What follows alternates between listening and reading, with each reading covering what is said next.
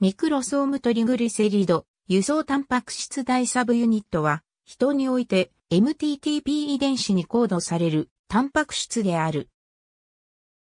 MTP は、ヘテロ二量体ミクロソームトリグリセリド、輸送タンパク質の大サブユニットをコードしている。タンパク質、ジスルフィドイソメラーゼによって完成されたヘテロ二量体ミクロソームトリグリセリド、輸送タンパク質はリポタンパク質の配合において中心的な役割を果たしていることが示されている。MTP の変異は無ベータリポタンパク質血症を引き起こす。カイロミクロン上のアポタンパク質 B48 及び LDL、IDL、VLDL 上のアポタンパク質 B100 は MTP の結合において重要である。